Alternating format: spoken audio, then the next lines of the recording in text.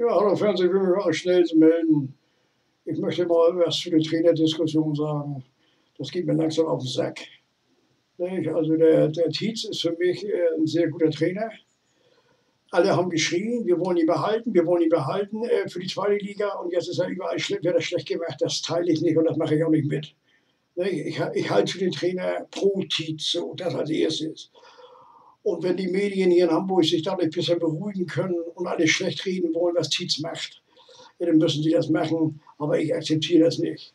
Also da sind Leute bei, die schreiben was, äh, die noch nie äh, mehr oder weniger äh, nie gegen Ball getreten haben, aber immer äh, diese, diese Geschichte so wie Tietz schlecht reden wollen. Das akzeptiere ich nicht, das ist nicht meine Meinung. Und noch was, was Tietz sportlich kann, das äh, hat er ja schon bewiesen. Er hat seinen Fußballlehrer gemacht. Das, da gehört ja schon was zu. Das schafft ja gar nicht jeder. Und zweitens ist er so, äh, dass er jetzt mit, mit der Mannschaft, eine ganz junge Mannschaft, dass er sich natürlich auch Kritik gefallen lassen muss. Wenn sie, wenn sie korrekt ist, die Kritik ist, ist ja klar.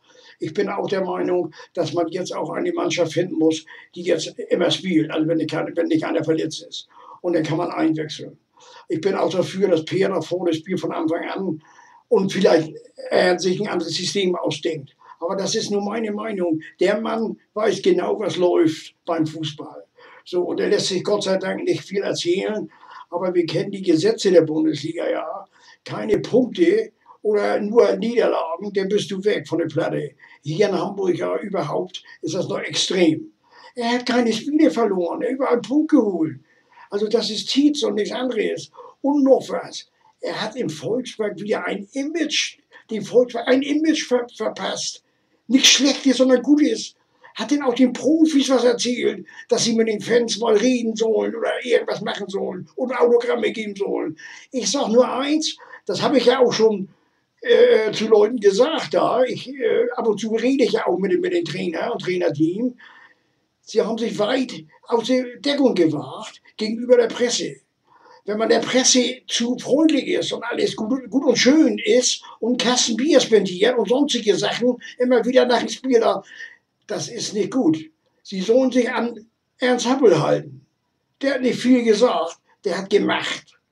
Da konnte die Presse schreiben, was sie wollte. Da hat er Rille hingeschickt und hat gesagt, ich, ich höre mir diesen Kasperkram nicht an. Rille macht das klar. Aber natürlich musst du dann auch Erfolg haben. Und ich sage euch eins, der Tietz wird auch wieder in die Spur kommen, da bin ich felsenfest davon überzeugt. Aber wie gesagt, wir kennen natürlich die Gesetze der Bundesliga, ob das erste oder zweite ist, keine Siege, dann gibt es natürlich Probleme und natürlich Druck für, für den Trainer und für das Trainerteam.